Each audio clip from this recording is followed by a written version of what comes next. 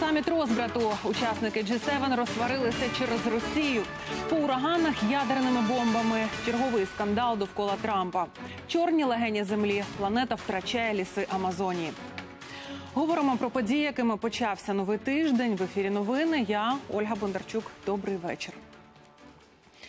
Ситуація на фронті далі загострюється. Сьогодні від початку доби вже шість ворожих обстрілів і один поранений армієць. Вперше за останні кілька тижнів окупанти атакували з мінометів. З десяток ворожих мін 82-го калібру розірвалися на українських позиціях поблизу Новолуганського. Зранку проросійські бойовики двічі обстріляли оборонців водяного. Під ворожим вогнем опинилися також захисники травневого, шумів і лебединського. У кількох випадках нашим воїнам доводилося вгамовувати супротивника вогнем у відповідь. Нагадаю, напередодні внаслідок ворожих атак один український боєць загинув і ще троє поранені. Україна зупиняє демонтаж укріплень у станиці Луганській, адже з боку окупованих територій бойовики жодних робіт не ведуть. Нагадаю, минулої суботи українська сторона почала розбирати фортифікаційні споруди біля зруйнованого мосту через Сіверський Донець. Оцінити ситуацію на ділянку прибули представники ОБСЄ. Зустріч лідерів нормандської четвірки наймовірніше відбудеться у Парижі. Про це в кулуарах саміту G7 повідомила канцлер Німеччини Ангела Меркель. За її словами, підготовку вже розпочали. Нагадаю, ініціював переговори в нормандському форматі президент України Володимир Зеленський. Він закликав лідерів країн четвірки терміново зібратися для врегулювання конфлікту на Донбасі. Востаннє нормандська четвірка зустрічалася восени 16-го року. Саміт Великої Сімки вперше в історії форуму завершиться без підписання підсумкового документа. Сторони розійшлися в поглядах практично з усіх ключових питань: це і міжнародна торгівля, і Північна Корея, і екологія. Немає згоди і з іранської проблеми. Воду ще більше скаламутив несподіваний і незапланований візит міністра закордонних справ Ірану. Його переговори з Еммануелем Макроном. А британська The Guardian пише, що господар Білого Дому Дональд Трамп під час вчорашньої вечері взагалі розсварився ледь не з усіма колегами. Предметом розбрату стала Росія. Трамп хоче бачити представників Кремля на наступному саміті. Ну а решта лідерів з ним не погоджується. Що ж до України, то Джастін Трюдо і Ангела Меркель закликають нову владу до реформ і запевняють у подальшій підтримці. Нічну стрілянину в столиці поліція кваліфікувала як теракт. Правоохоронці оголосили оперативний план і розшукують нападників. Сьогодні о першій ночі невідомі поцілили з гранатомета в приміщення мостобуду на вулиці Панківській. Ніхто не постраждав. Снаряд влучив у вікно четвертого поверху, пошкодив шибки і фасад. Відстріляний тубу з гранатомета оперативники знайшли поруч з місцем інциденту. Зараз правоохоронці опрацьовують відео з камер спостереження.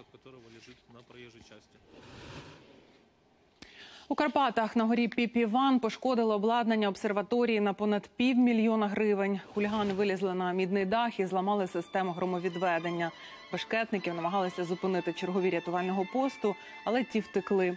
Тепер злодіїв розшукує поліція. Їх зафіксували камери відеоспостереження. Обсерваторія розташована на вершині гори Піпіван на території Верховинського району на висоті понад 2 тисячі метрів. Від 2012 року два університети Прикарпатський національний спільно з Варшавським почали її відбудовувати. Наразі споруда зачинена для туристів.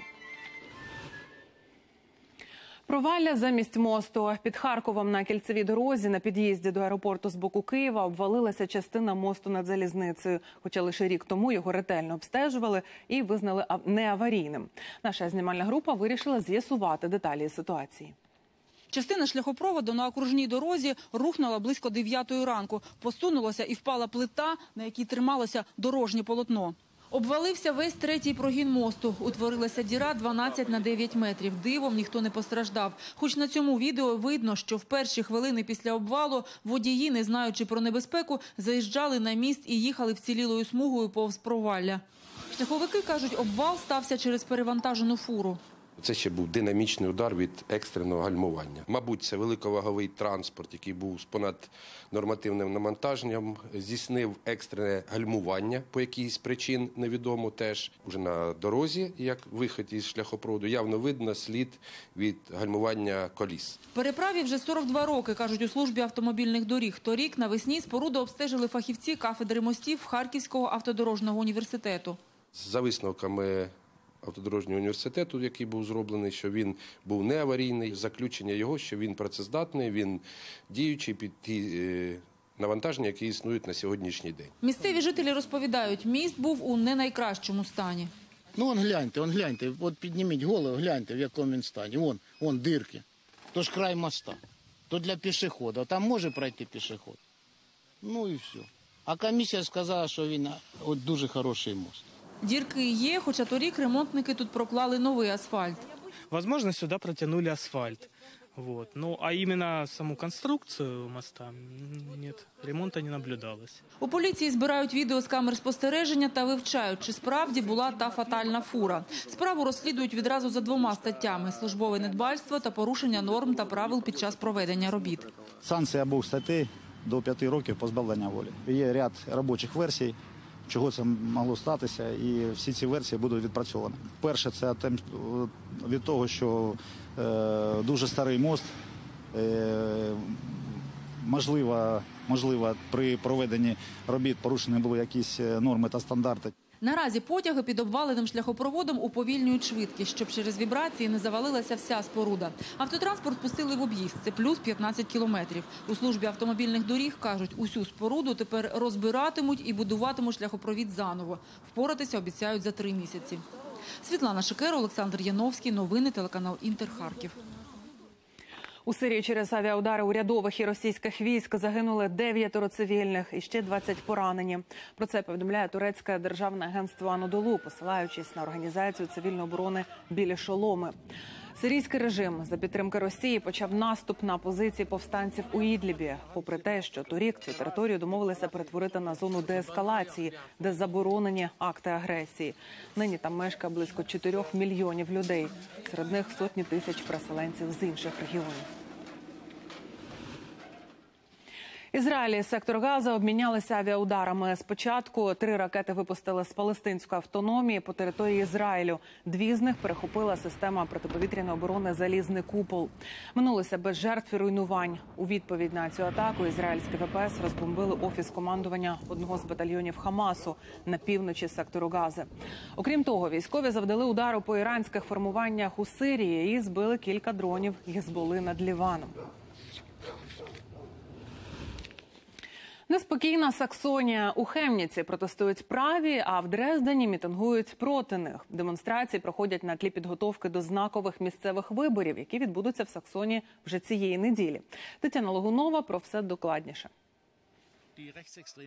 На вулицях саксонського міста Хемніц знову акції протесту. На демонстрацію вийшли члени правих радикальних рухів, щоб згадати події річної давнини. Тоді жителів міста сколихнуло резонансне убивство. Під час сварки двоє біженців зарізали місцевого жителя. У Хемніці понад тиждень тривали протести. Праві вимагали не пускати до країни мігрантів. Ліві закликали зупинити правих, а поліція без особливого успіху намагалася всіх вгамувати. Цього разу демонстрація минула значно спокійніше. Організатори заявляли тисячу учасників, та прийшло вдвічі менше. Можливо, через те, що одного з винуватців трагедії вже покарали. Кілька днів тому сирійця, який завдав смертельне ножове поранення, засудили до 9,5 років ув'язнення. Його спільника, вихідця із Іраку, оголосили у міжнародний розшук. Значно масштабнішим був інший протест проти расизму, ворожнечі та ультраправої ідеології. Він відбувся в столиці Саксонії Дрездені і зібрав у центрі міста десятки тисяч людей. Ми виходимо на вулиці, щоб протистояти повороту вправо. Подивіться, вже є праві уряди, праві політики, які знову перетягують на себе владу. Для нас важливо показати, що є багато людей, які готові вийти на вулиці на знак протесту проти правої ідеології, показати, що ми боремося за відкрите та солідарне суспільство, особливо зараз за тиждень до місцевих виборів. Цієї неділі відбудуться парламентські вибори у двох землях Саксонії та Бранденбурзі. Це східні регіони, де сильні позиції має ультраправа партія Альтернатива для Німеччини. Ще кілька місяців тому соцопитування показували, що ця політична сила має всі шанси виграти перегони і прийти до влади. Проте наразі ситуація трохи змінилася завдяки активним кампаніям, які проводять у Саксонії та Бранденбурзі інші політичні партії. Християнські демократи та СДКи набирають бали, потрохи відтісняючи ультраправих на друге місце в політичних перегонах. Тетяна Логунова, Геннадія Нікієнко. Новини німецьке бюро телеканалу Інтер. Британські компанії масово тікають з країни. В очікуванні Брекзиту підприємства переміщають свої офіси до інших держав Європи. Наскільки масштабний відплив бізнесу і що відбувається з виходом з євроспільноти? В матеріалі Світлани Чернецької. Брекзит ще не настав, а вже створив чимало проблем для Тома Герінгтона. Він власник невеличкої компанії дизайнерських окулярів. Том розробляє нові моделі в Англії, а саме виробництво розташоване у Франції. Схема ідеально працювала роками. Французькі банкіри більше не ймуть мені віри, адже в мене невеличкий бізнес у Британії. Тобто щодо позик, я в зоні ризику. Це просто божевілля. А після Брекзиту мені ще й доведеться платити податок за власний товар, коли він надходитиме сюди із Франції. Це смішно. Томові наразі вигідніше взагалі перебратися до Франції. Саме так вже вчинили сотні британських компаній. Не лише Франція, а й Нідерланди, Німеччина, Бельгія та Ірландія із розкритими обіймами приймають розчарованих британських підприємців. За останніми опитуваннями, третина усіх тутешніх фірм планує або вже перенесла свій бізнес до ЄС. Адже так, після Брекзиту вони не втратять доступ до європейського ринку. Втікають фінансові фірми, виробники автомобілів та обладнання, рекламні і наукові агентства, і невеличкі підприємства, і бізнес-корпорації. Приміром, Амстердам звітує про переїзд сотні британських фірм. Серед них і японські виробники електроніки Panasonic та Sony. Для Лондона це втрата тисяч робочих місць та платників чималих податків.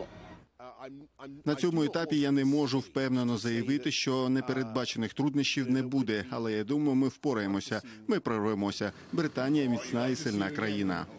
Гірше за Брекзит для бізнесу може бути лише жорсткий Брекзит. А саме до цього все і йде. Британському прем'єрові не вдається домовитися з Брюсселем щодо змін до угоди про вихід. Втім, Борис Джонсон знайшов ще один плюс жорсткого Брекзиту. Лондону не доведеться платити відступні Євросоюзу, а це 39 мільярдів фунтів. Світлана Чернецька, Валентин Біліч. Новини британське бюро телеканалу Інтер. Бразилія залучає війська до гасіння лісових пожеж в Амазонії, а Болівія попросила міжнародної допомоги. Масштаби лиха, що охопило тропічні ліси, які науковці вважають головними легенями планети, вразили навіть лідерів Великої Сімки. Докладніше далі в сюжеті. Із плакатами і антиурядовими гаслами кілька тисяч бразилійців вийшли на набережну Ріо-де-Жанейро. Серед них грінпісівці та представники індіанських племен. Вони закликають владу до рішучих дій на захист їхньої домівки, амазонських лісів від знищення вогнем. Ми мусимо це зупинити. Більшість територій Бразилії вже була сплюндрована, а тепер руйнування просувається вглиб Амазонії і, зрештою, спустошить її. Ми не можемо цього допустити, бо постраждає вся планета. Наслідки відчує увесь світ. Це наша декларація любові до природи. Ми маємо зберегти природу, бо це врятує наше життя. Небувалі пожежі, що останніми тижнями вирують у найбільшому в світі тропічному лісі, стали екстреною темою для обговорення на саміті G7. Лідери сімки погодили план порятунку та вирішив якнайшвидше доправити допомогу до країн, що борються з пекельною стихією. Ініціював перемови господар саміту Еммануель Макрон. Усі одностайно погодилися негайно надати допомогу державам, що постраждали від пожеж.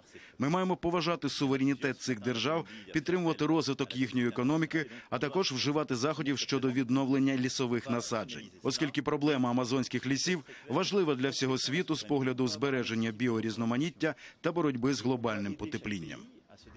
Про міжнародну допомогу вже попросила влада Болівії. Керманач країни навіть призупинив передвиборчу президентську кампанію, адже палає мільйон гектарів лісів. Свої оселі залишили понад мільйон місцевих жителів. До гасіння залучили дві тисячі рятувальників та авіацію. У сусідній Бразилії долати полум'я допомагають військові. Та на думку екологів, щоб спинити вогняний наступ, тамтешньому уряду насамперед варто було б переглянути свою політику підтримки сільськогосподарського освоєння джунглів. Поза як більшість з 80 тисяч займань наслідок випалювання лісу під ферми та підприємства. Ольга Жидецька, Анна Філь. Новини телеканал Інтер. Радіоактивний фон Росії підвищився після вибуху під Сєвєродвінськом. Це офіційно визнали в Росгідромецентрі. І навіть розкрили склад радіоактивної хмари. У пробах повітря та опадів після вибуху в Архангельській області виявили радіонукліди стронцію, барію, лантану. Ці метеорологи запевняють, що зараз усі показники в нормі і радіаційна ситуація нормалізувалася. Нагадаю, 8 серпня на території полігону в Архангельській області прогримів вибух. Загинули семеро осіб. А невдовзі в регіоні помітили підвищений радіоактивний фон. За два дні в Росатомі повідомили, що рвонула реактивна рухова установка. Ну а згодом визнали, що трагедія сталася під час випробування нового спецвиробу. Американська розвідка з'ясувала, що новим спецвиробом була ракета з ядерним комплексом Skyfall. Бомбою по ураганах американські змі опублікували сенсацію. Нібито Дональд Трамп пропонував бомбити буревії атомною зброєю. Сам президент усе спростовує, але скандал набув обертів. Дмитро Анопченко з'ясовував, звідки ноги ростуть. Шторми та буревії справжнє лихо для сполучених штатів. Взагалом від початку року збитки від розгулу стихії вже сягнули майже півтора мільярди доларів. І найгірше ще попереду. За прогнозом національного управління атмосферних досліджень, за три місяці осені в США очікують від 5 до 9 ураганів, два з яких можуть бути катастрофічно руйнівними, рівня Катрини, якщо не сильнішими. Ситуація настільки критична, що в Білому домі навіть засідання Ради національної безпеки збирали, на якому, як розповіли пресі його учасники, попросивши не називати їхніх імен, президент Трамп нібито виступив із разючою пропозицією.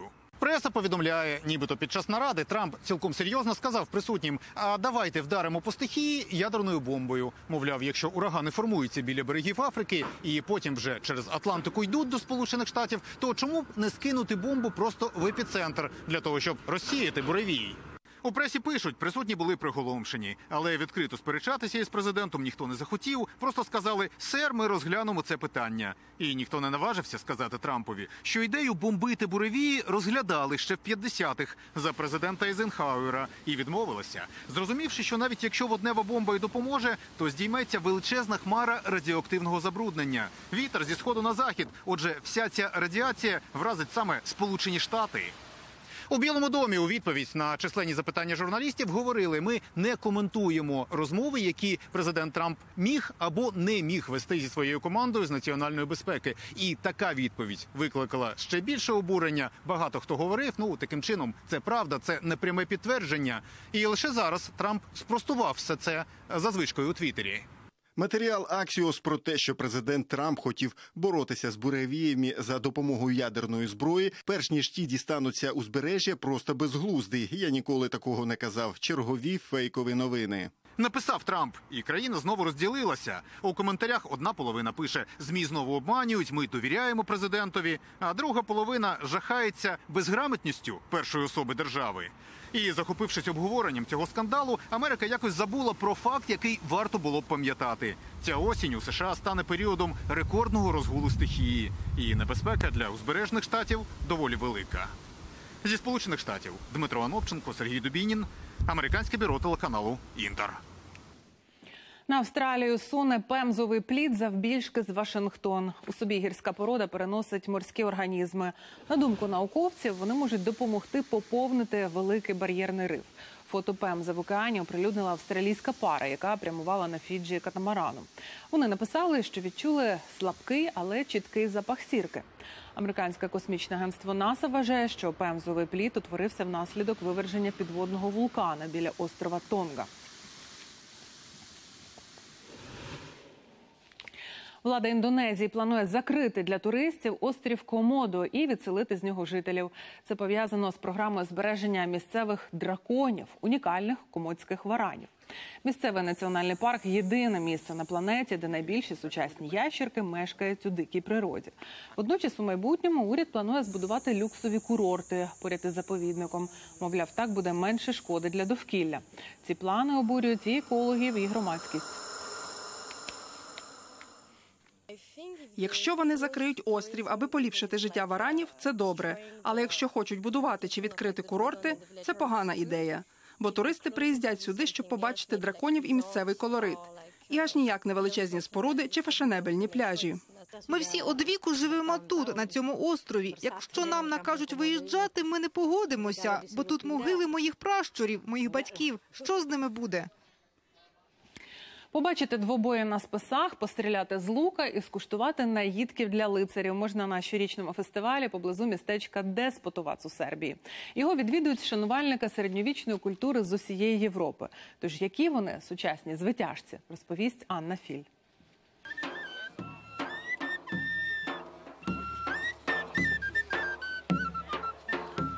Щосерпня фестиваль під стінами середньовічного монастиря Манасія збирає сотні шанувальників давнини. Честь, гідність, шляхетність, повага до традицій та позитивна енергетика усе є на цьому святі.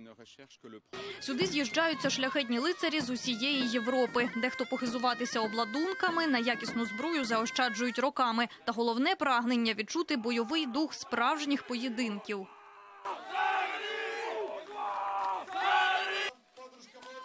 Правила жорсткі. Гамселити суперника можна як завгодно. Головне не зачіпати незахищених частин тіла. Тому по медичну допомогу тут звертаються часто.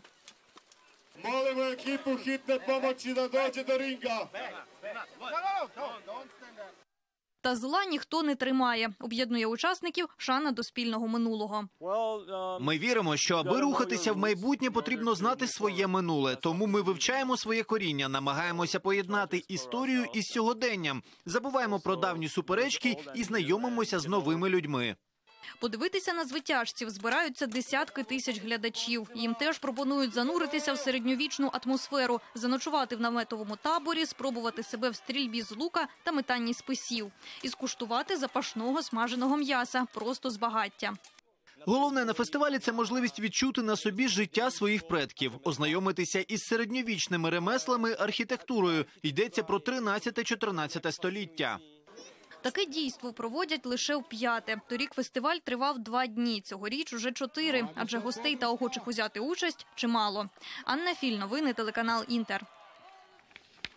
У Мексиці встановили новий світовий рекорд з виконання народного танцю. У місті Гвадалахара одночасно на підмостках танцювали майже 900 осіб.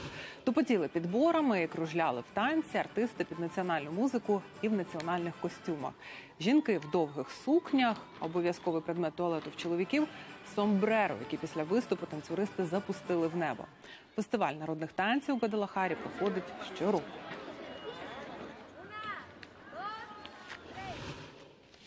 Більше цікавого на нашому сайті. Подробності є. Заходьте. А я дякую вам за увагу і прощаюся до завтра. Гарного вечора.